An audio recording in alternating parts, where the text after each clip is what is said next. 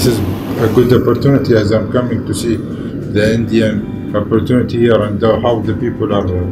living and I'm checking this uh, kind of uh, business. And the government of UAE is supporting the Indian group too much here.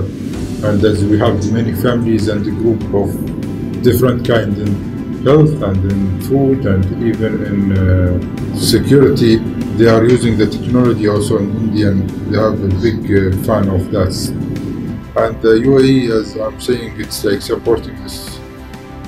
Indian industry with all the support they can give here to grow and to come and live here safe with them and with their family. I'm saying uh, to everyone who is in India and seeing us here, like, and uh, with all this kind gentlemen, they are living here and